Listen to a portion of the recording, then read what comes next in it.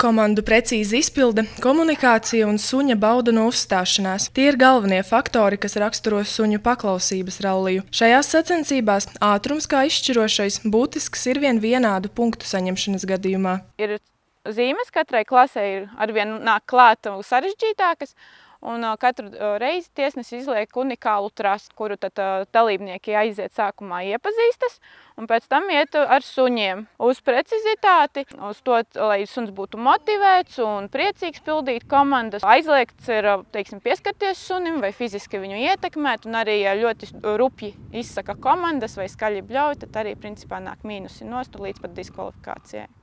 Blakus, strādāt, lappuļkā, nāvēs. Lekus.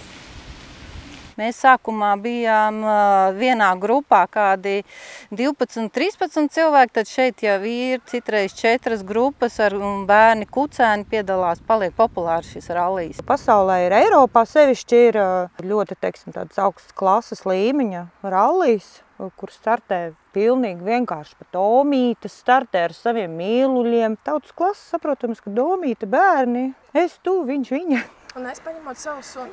Jā. Nesot nekādā komandā un nekur arī. Jūs varat nākt startēt. Kā RTV ziņām stāst uzrunātie, pasaules līmeņa sacensībās latviešiem būtu lielas izredzes kāpt uz goda piedestāla. Latvijā vērtē ļoti stingri. Ja šeit startējošie sportisti aizbrauktu uz kādu citu valsti, viņi būtu ļoti augstā līmenī. Šajās sacensībās vecākais ir mans dalībnieks Aldis Freimanis. Viņš startētu un arī mans sportists Tevī startētu noteikti, ka būtu augstā līmenī. Ir. Mēs piedalāmies četrus gadus, un uh, nevienmēr ir veiksmīgi, bet šī sacensības gārs, kopā būšana, uzticēšanās viens otram un reizēm uz plecu paraudāt ideāli.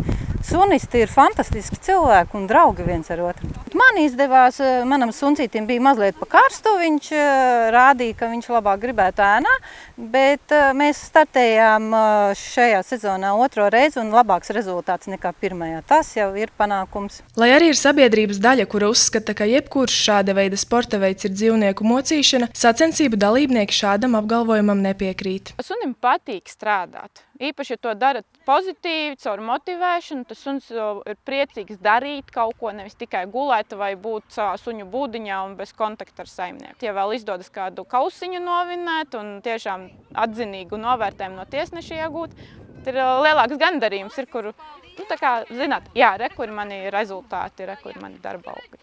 Ja epidemioloģiskā situācija ļaus, nākamās sacensības plānotas septembrī Limbažos. Ramons Zariņēlvis Cāzars, Red TV.